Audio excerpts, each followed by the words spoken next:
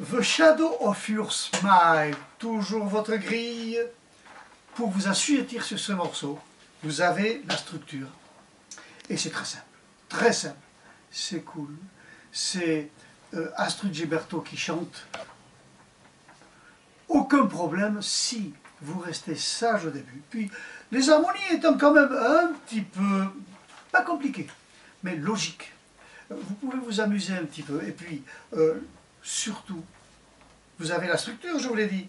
Lettre A, lettre B, ne pas louper la coda. Il faut toujours savoir commencer et terminer un morceau.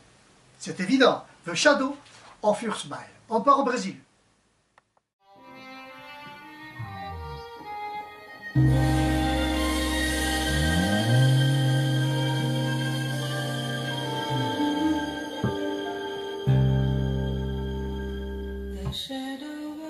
Christmas.